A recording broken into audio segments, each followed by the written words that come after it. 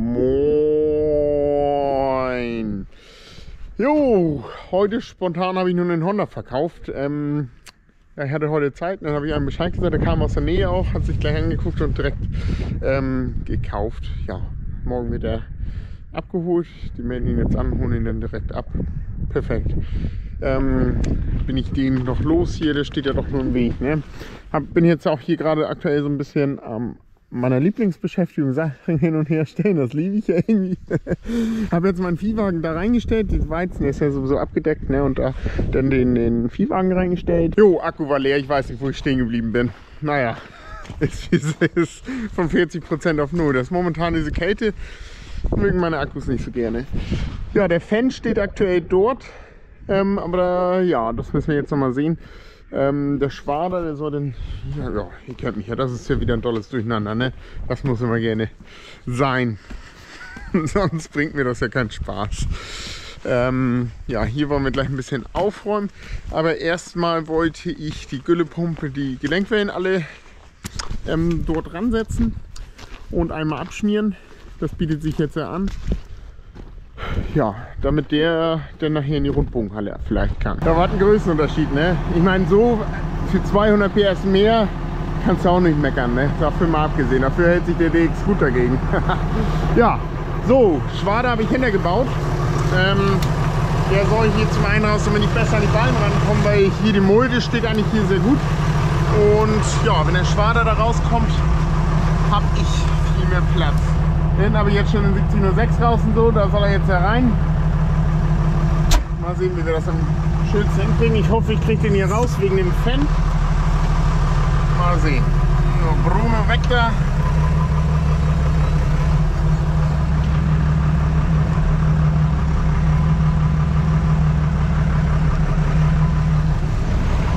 Ah, so schön, dass der gelenkt ist mit dem Schild am Reifen hängen bleiben. Ne, das sieht gut aus.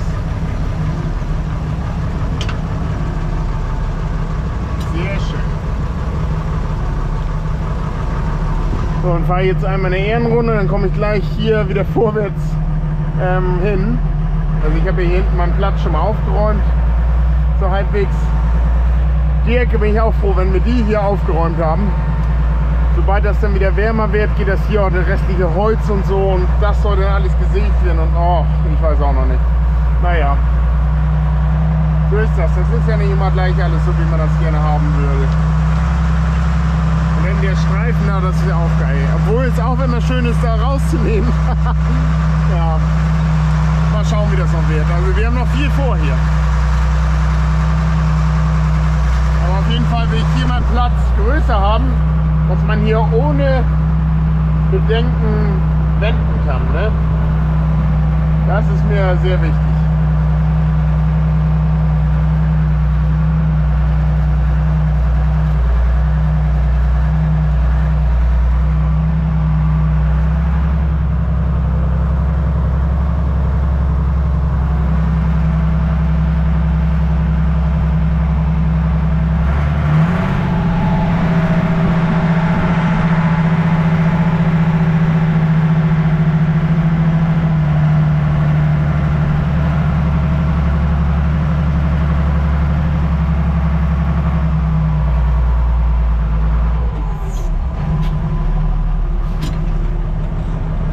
Weg da. Von der Höhe sollte leicht hier reinpassen. Ah, kriegen wir das jetzt wieder mit.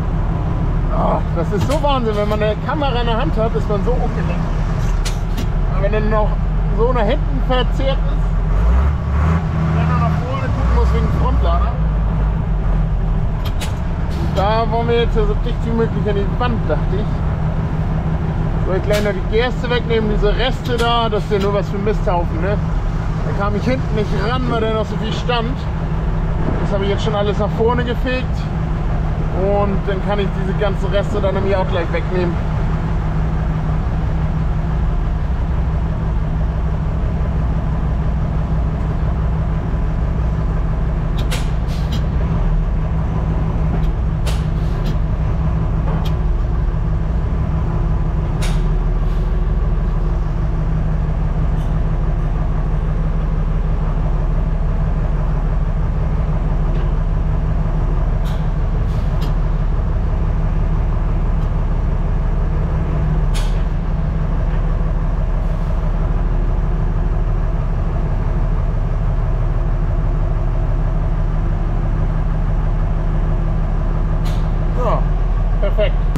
Der ist schon mal angespannt. Soll ich gleich noch eine Heckscheibe zu machen, weil sonst hast du dann Heckscheibenkiller, wenn du die hochhebst. Ich habe noch überlegt, ich werde auch da oben eine Kamera installieren, dass wenn man rührt, kann man das im Trecker sehen, ähm, was im Behälter passiert. Ne? Ich werde jetzt einmal den laufen lassen, gucken, ob der Propeller so dreht. Ähm, jetzt nicht viel, weil ich will noch Öle wechseln und und und. Das ist jetzt nur einmal zu Testzwecken. Ne?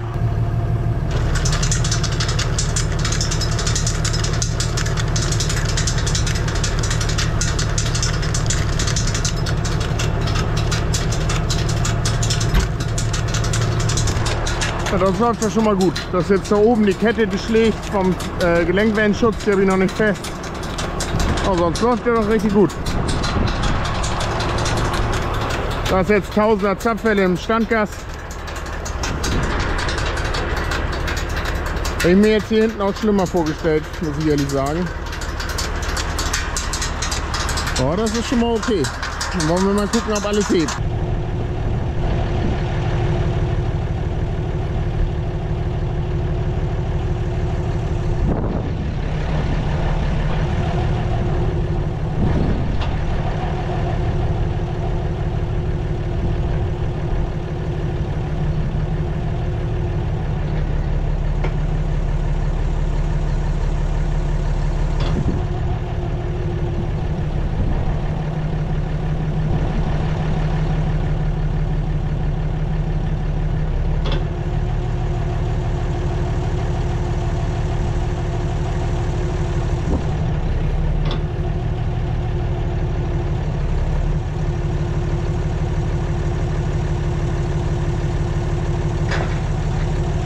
So ist er ganz ausgefahren und dann kann ich natürlich noch die Schlepperhydraulik hinzunehmen. Ich weiß jetzt nicht, wie wir jetzt so, äh, wie viel Meter wir haben.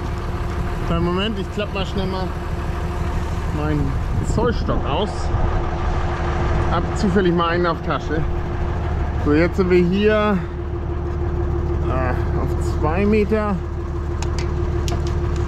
Na, da müssen wir noch ein ordentliches Stück höher. Aber er ist ja ganz unten, ne?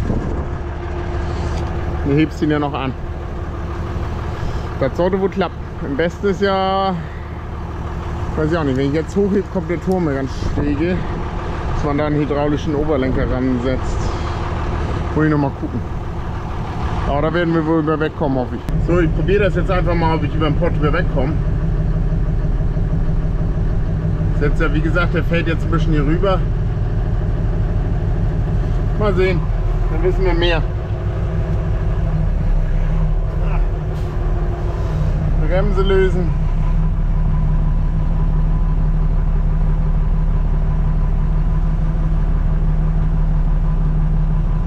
So, auf jeden Fall muss der Oberlenker ordentlich was länger, aber das kriegt man ja hin.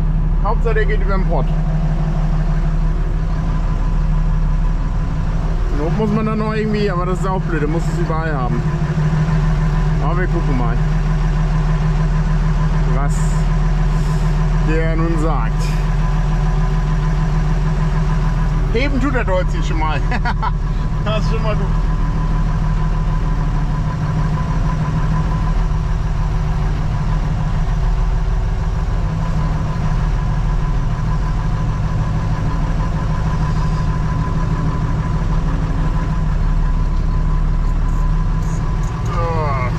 Denn war das, welches Steuergerät denn? Ich weiß es gar nicht. Das hier? Ja.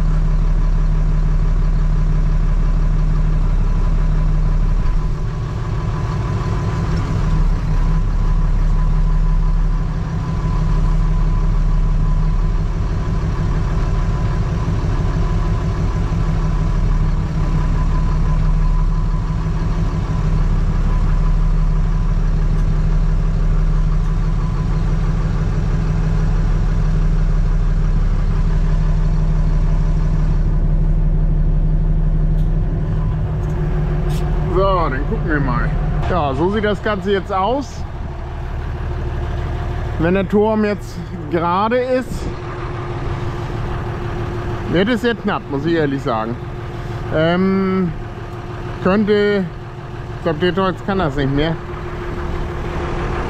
Die Oberlenker, nee, die Unterlenker noch höher drehen, nee, der kann das nicht mehr. Hier haben wir alles fest verschraubt. Ähm, Der andere kann das, der 616. Äh, dann kann er noch ein ganzes Stück höher heben. Also da wird es auf jeden Fall gehen beim 616. Ja, also das kriegen wir zurecht. Ne? Gegebenenfalls müsste der mal andere Hubstreben haben. aber vielleicht passt das auch, wenn ich den Oberlenker jetzt länger drehe. Aber es wird dann sehr knapp. Ne? Also 20 cm kriege ich ihn auf jeden Fall noch höher mit den Hubstreben. Also wenn ich die kürzer drehe. Ne? Ja. Sonst habe ich ja noch den 300er. ja, aber das wert. Weil es geht ja nur darum, dass äh, die Gelenkwellen quasi da oben nicht aufliegen. Der Rest, der biegt den ja über. Ne? Also das, das klappt. Also das denke ich. Das sollte auch genau hiermit äh, klappen. Ja. Also da sehe ich schon gut was drin. Aber vielleicht werden hier noch andere Hubstreben schön, dass der das auch dran. Also ich denke, das wird dann eher der 616 erstmal machen. Ähm, ist ja auch nun äh, egal. Wenn, wenn ich jetzt rein theoretisch um Gülle fahren wäre, wenn ich einen Kleinwagen kann der das hier oder der, der Fendt eben, ne? Ähm, der 616 hat keine Druckluft, der ist ja so oder so über quasi. Wenn, wenn jetzt Gülle fahren wäre, dann wäre ja nichts für ihn, was er machen könnte. Also kann, kann der 616 das ja auch leicht verrichten. Ja, also das wird schon was werden. Gott sei Dank. Junge, Junge, aber es ist trotzdem natürlich eine knappe Nummer, ne? Da kann man machen, was man will. Aber es geht ja. Ne, ich würde ihn jetzt nicht in die Gülle lassen, ähm, weil dann ist er voll mit Gülle. Da habe ich jetzt aktuell jetzt gerade keine Verwendung für. Der passt doch wohl noch perfekt hier zwischen. Er nimmt nicht mal Platz weg. Ideal, weil der Platz wäre jetzt sowieso über. Ähm, so ein Schwader nimmt immer ja, blöd viel Platz weg. Hinten viel und vorne dann quasi nichts. Ne? Ja, ideal. Ne? Wie gesagt, der ist hier, ja, weil der gar nichts mehr jetzt gemacht hat, hat er keine ordentlichen Hubstreben dran. Sind nur noch für ein bisschen, also Spritz und sowas, da kriegt er ja alles gar nicht hinter. Deswegen hat er diese Verstellung nicht mehr, das haben wir festgebolzt noch, ähm, damit ja nichts passiert. Ja. Werde ich nochmal nach anderen auch gucken, dass der das auch kann, das ist nicht so wild. Ne? Aber so bin ich schon mal begeistert. Ne? Wenn das nochmal beim äh, 616, oh, ganz schmutzig wieder, 616 ähm, ausprobieren, aber der hebt ja erstens ein ganz kleines Stück höher. Ich kann die Hubstreben, also 20 cm müsste das auf jeden Fall bringen. Ähm, noch höher, dann komme ich da auch locker über weg. Ne? Aber es ist wie gesagt eine enge Nummer, da braucht man sich nichts vormachen. Und dann soll er nachher auch noch diese Schwimmschicht kaputt kriegen. Also ich bin echt sehr gespannt, ob das alles so äh, funktioniert, wie ich mir das am Ende vorstelle. So, dann kommt der jetzt auch rein hier. Erstmal auf jeden Fall. Mal sehen, wie sehr er stört. Aber solche Maschinen haben nicht gut draußen stehen. Die beiden Anhänger, die sind mir relativ egal. Ne? Aber so die bisschen teureren Sachen können gerne rein. Also alles kriege ich auch nicht rein, aber ich habe den Platz und kann ihn den eben so gut nutzen. Und gleich hier noch die Reifen stapeln. Dann wäre das.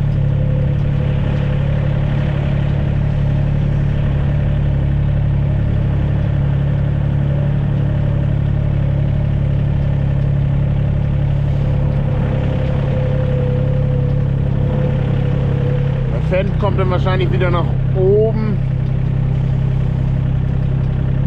Oder, ja, ich kann ihn auch erst stehen lassen. Feiert den Kreuz erst hoch, ich weiß noch nicht.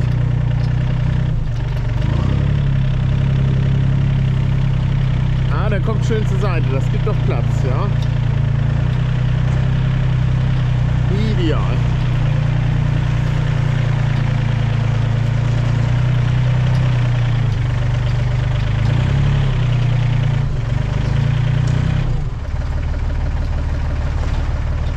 Perfekt. So, jetzt Holzwagen ganz da ranfahren, den anderen Wagen daneben, das ist gut, ne? Da ist der 706 am schönsten für, ist ein bisschen wendiger, das da alles so hinzubekommen, wie man das will. Und dann nochmal zum Güllemixer, also ich hatte es mir tatsächlich mehr vorgestellt, aber natürlich, er hat gesagt, 4 Meter hebt er und 380 Liter. Ähm, aber das wird schon, also da sehe ich hoffe ich kein Problem. Also momentan sehe ich da kein Problem, dass ich da ordentlich wieder wegkomme. Weil er knickt ja, ähm, wie gesagt, er ist, weiß ich nicht, 40, 50 cm weiter rein. Ne? Also quasi er kommt er über den Pott und da hat er erst den Knickpunkt. Also wenn er nachher der Turm gerade steht, ich komme über weg, der knickt auch nach unten. Das ist gar kein Problem. Ne? Er soll nur schön über weg kommen. Aber das sollte so funktionieren. Wir werden sehen. Versuch macht wie immer klug, oder wie sagt man? das gefällt mir schon besser. Morgen werde ich hier das Vlies noch zusammenlegen. Ich habe noch zwei mehr, die sind noch in der Halle. Die sollen auch zusammengelegt werden. Ähm, ja, aber hier kannst du jetzt ja also wirklich problemlos mit 40 Tonner drehen. Ne? Ähm, so. Ja klar, dann machst du Spuren, aber vom, vom Platz her. Ne? Ich meine, den Platz kann man ebenso gut nutzen. Deswegen will ich ja auch im Sommer da die Fuhr frei machen, dass da die Silobeine eigentlich stehen können. Ne? Ähm, das wäre ideal. Das ist ja das alte äh, Hock, wo die Rinder liefen damals hier raus. Ne? Mehr ist es ja nicht, da, da ist ja nichts. Kann man ebenso gut so verwenden, anstatt dass das da am Red untergeht. Ne? Hat der 7060 jetzt eingenistet und ja, daneben ist immer noch Platz. Und der 610er kommt jetzt hier noch mit rein. Da habe ich sogar noch Platz für einen Trecker mehr. Ja, können wir noch einen kaufen. Oben in der Werkstatt vor dem 616, da ist ja noch Platz, wenn der jetzt hier reinpasst. Aber eigentlich müsste der das. Dann sind die doch alle schön weg.